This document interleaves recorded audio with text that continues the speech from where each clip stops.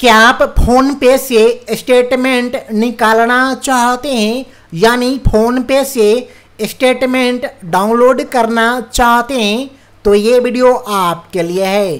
क्योंकि इस वीडियो में मैं आपको बताऊँगा फ़ोन पे से स्टेटमेंट कैसे निकाल सकते हो, यानी डाउनलोड कैसे कर सकते हो, आइए इस वीडियो में जानते हैं। सो चलिए इस वीडियो को शुरू करते हैं। सबसे पहले आपको अपने फ़ोन में फ़ोन पे ऐप को ओपन करना है। इसके बाद अगर आप लॉक लगाए हैं तो आप अनलॉक कर लेंगे। अनलॉक करने के बाद आप यहाँ देखिएगा, नीचे में दिख रहा होगा हिस्ट्री, आपको यहाँ क्लिक करना है।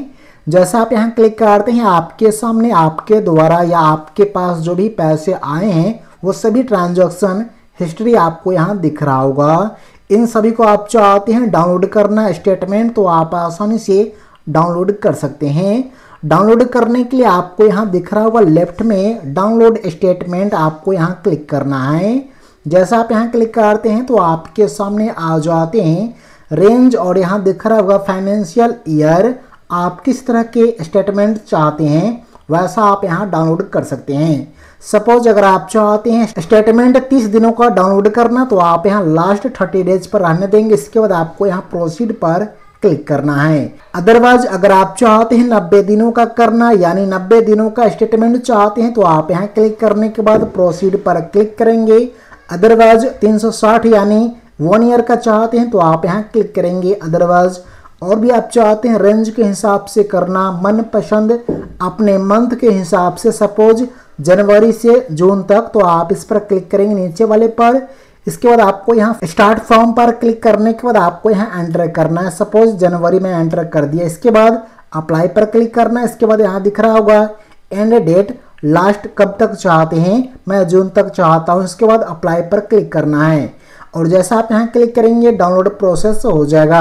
अगर आप चाहते हैं फाइनेंशियल ईयर का करना तो आप यहाँ क्लिक करेंगे फाइनेंशियल ईयर पर। इसके बाद आप यहाँ देख लेंगे जो करंट चल रहा है, वो करंट फाइनेंशियल ईयर चाहिए। अदरवाइज़ अगर आप चाहते हैं तेईस से चौबीस का स्टेटमेंट तो आप यहाँ क्लिक करने के बाद आपको यहाँ प्रोसीड पर क्लिक करना है। इसके बाद आपको यहाँ कंफर्म करना है।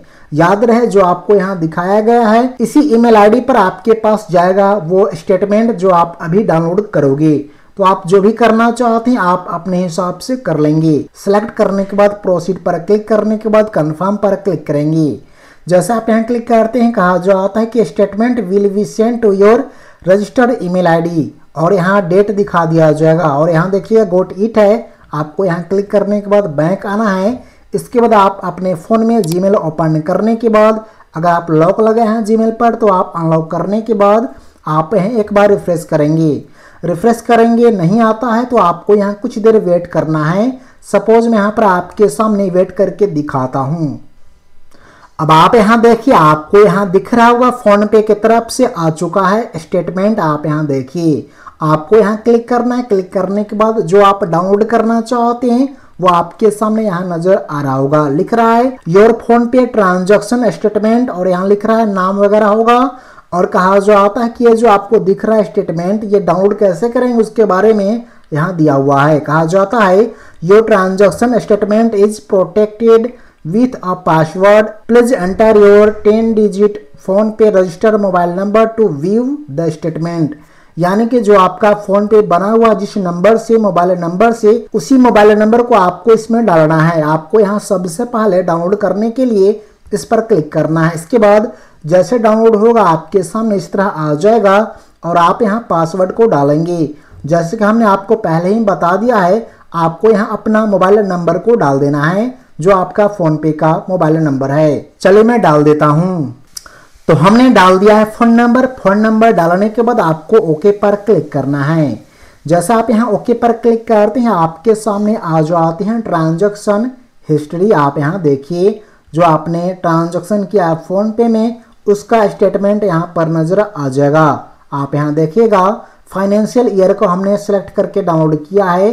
तेईस चौबीस का ये स्टेटमेंट है, जो आप डाउनलोड करोगे, आप यहाँ देख लेंगे, आपको यहाँ नज़र आ रहा होगा। अब आपको मैं जूम करके थोड़ा सा दिखा देता हूँ, यहाँ पर क्या क्या लिखा हुआ है।